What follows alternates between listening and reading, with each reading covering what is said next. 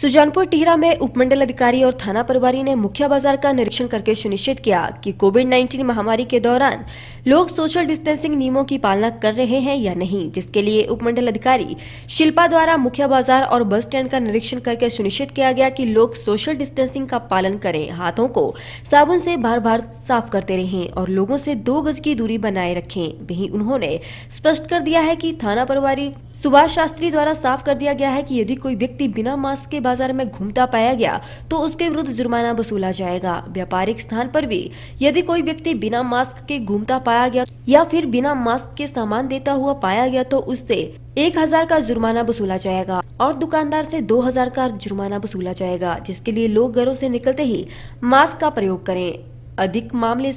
जौनपुर क्षेत्र से सुजानपुर क्षेत्र के आ जाने से लोगों में डर की स्थिति भी बनी हुई है, जिसके लिए प्रशासन ने लाउड स्पीकर के माध्यम से भी लोगों को जागरूक करने का कार्यक्रम शुरू कर दिया है।